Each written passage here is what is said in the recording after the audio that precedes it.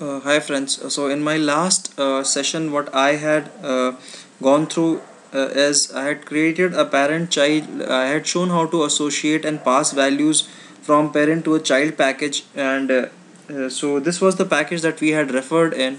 So if you have missed out on something, uh, please visit uh, my last video.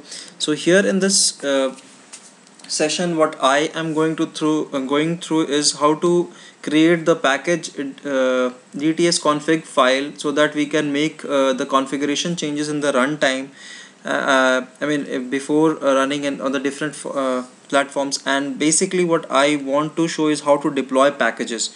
The most important thing is in sql server and so we can deploy packages in two ways either a file system deployment or an msdb deployment can be achieved. Uh, so what I uh, will do with this package now it is in the same state as it was in the last video session. So I will create uh, package configurations. A new package configuration will have to be activated. So I do it and I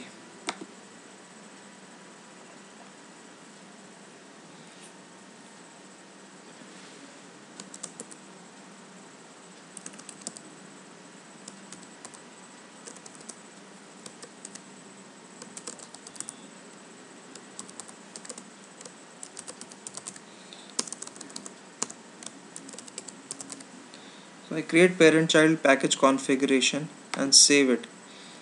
And say next. And uh, it will prompt for what all values you want to configure. So here we just want to configure the uh, server name on which we want to search the table. So we'll say server name value and the table name. We want uh, the table name to be read from the dts config file initially. Rest of the values seems to be good for us so we'll configure these two values and we'll say finish and we'll close it.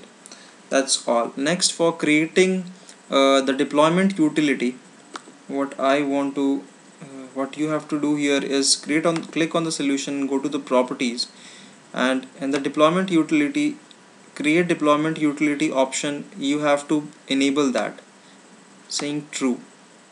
And you say apply and say okay so the next time you try to build your package you just say build. This will create a deployment utility. So where is that going to happen? You can find this path and click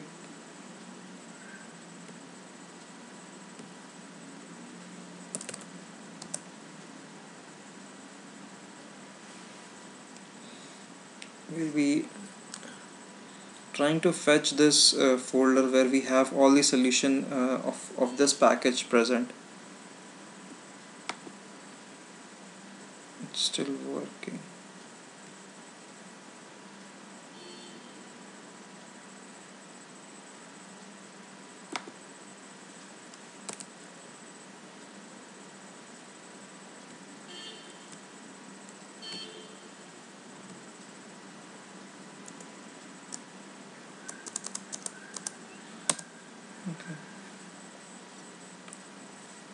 right so this is the solution uh, of, of this package. So in the bin you'll have you will find a deployment folder.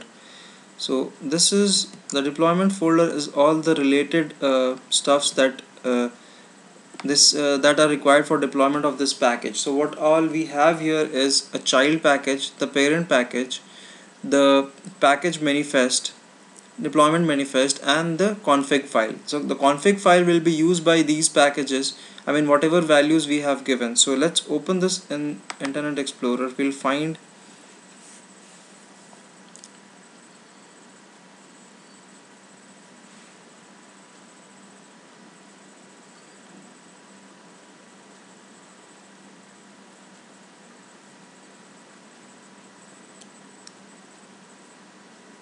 so this is opening your uh, config file. So what you will see here is the server name uh, variable the value is configured value is present here and you have the table name the configured value is present here. We can actually this value this is the value of your table name that you will you want to look for and this is the server instance so those are two configurable values in your uh, dts config file. So we'll close this. And this is the important deployment manifest which will help you to deploy your package in the file system on an msdb format wherever you want to uh, install your package to. So we'll see how this uh, installation can be done. So for installation let's uh, if you want to edit the server and stuffs let's just we have already seen you how do you edit it? I just want to show you open this in the notepad and uh, if you want any alterations you can simply change the value by typing it here and uh, and changing it here maybe. So let's I'm just going to change this uh, server instance from second to my default. So and save it. Okay so now I'll start deployment. With these four files you can uh, deploy uh, this package on any of the servers. So I'll just start my deployment. Double click on this manifest. I'll say yes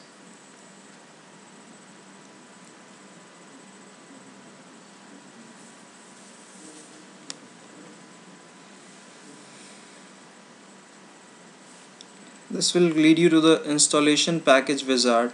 You can say next. It will ask for SQL Server or uh, file system deployment.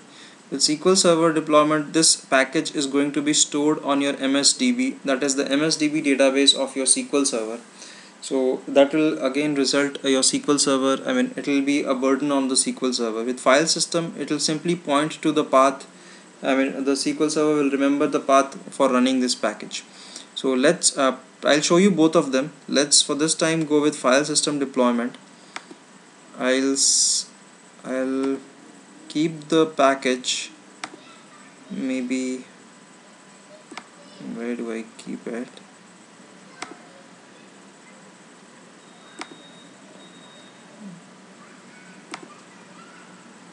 Okay maybe on the SQL okay let me just create a new folder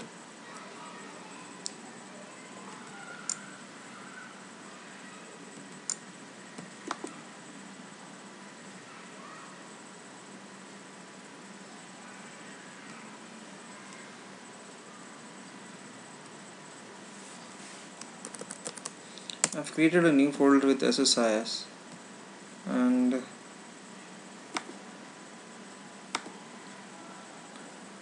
so I'll point to the SSIS folder and say okay. So this is the place where my this package is going to be installed. I click on next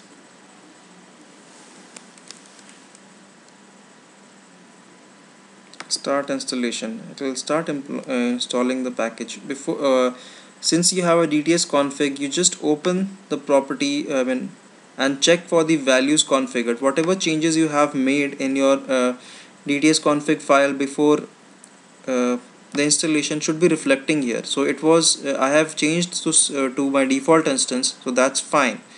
So I am okay with these two values. Just remember to validate them while installation so next we are almost finished. So we are done now. So let's just go to the path where uh, we have installed our package 2 uh, so we have what we have here is child parent and the package uh, uh config file. So uh, now if I have to run run this package how do I do it? In that case I'll have to create a SQL job. So let's just see that how do we do it? Uh,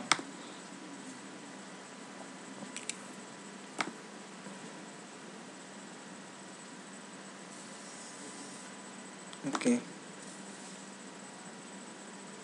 I'll create a new job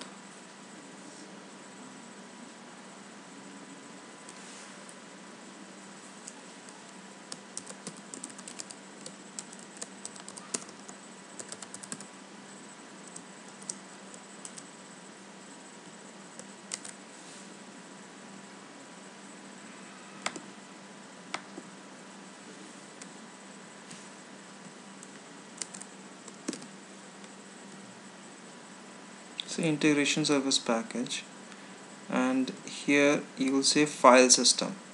So you have to browse to the path where you have kept the file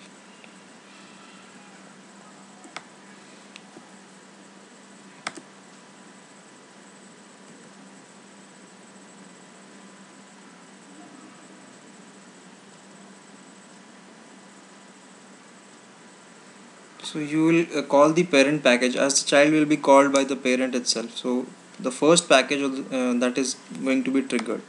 So we'll call the parent and we should be good for present uh, demo. We'll just say an okay and we say an okay. So what we have is a parent child package uh, SQL job so I'm truncating this uh, whatever data is there and rerunning the package. So I'm running the SQL job presently.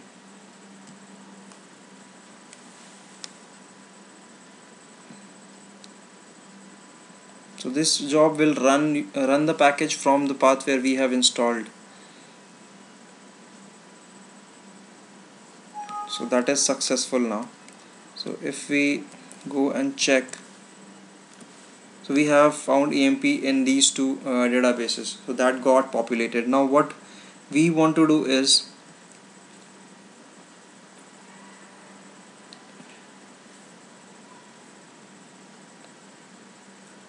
we want uh, this installation uh, uh with an MSDB also. So let's also uh, try to install in MSDB format. So if we have again we'll go to the deployment manifest double click it and choose MSDB this time for installation. Right. So we'll uh, install it on my default instance. Package path this will use the SSIS package okay by default path. We say next.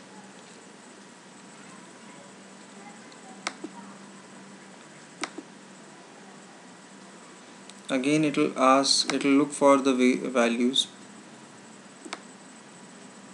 Right uh, so this time let's just change the value to something else for DTS config. We'll update it to maybe a second instance or something.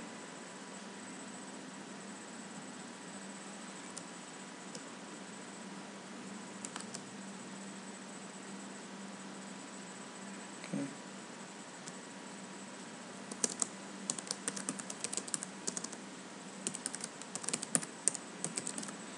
okay so we have done it to second instance. Closing it. And for installation once I go back and I click next. So it will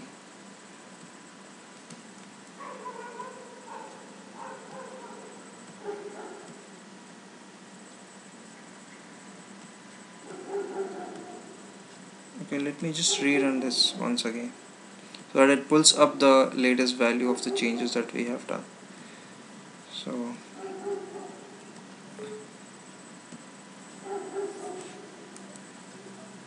install we'll use SQL Server. Install it.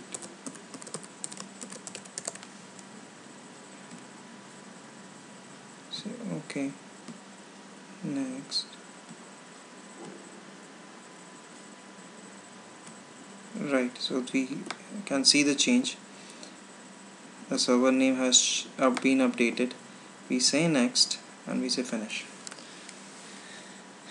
so with this what we how this can be validated. So what I do is I click on integration services on my default instance where I have installed. I should be able to see the package in my MSDB so if you see there is a package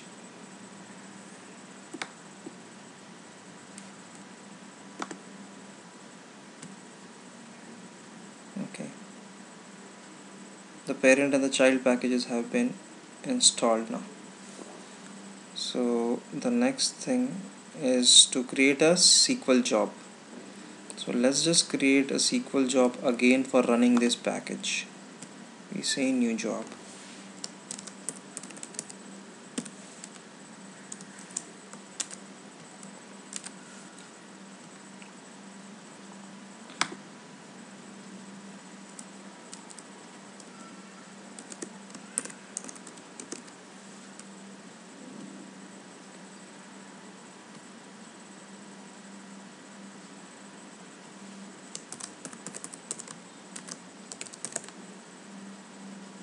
I name the server.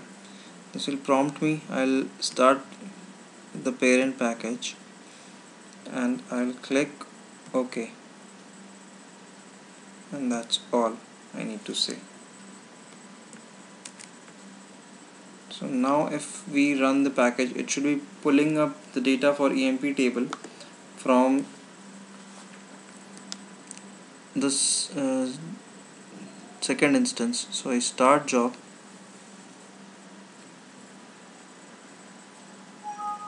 this is successful.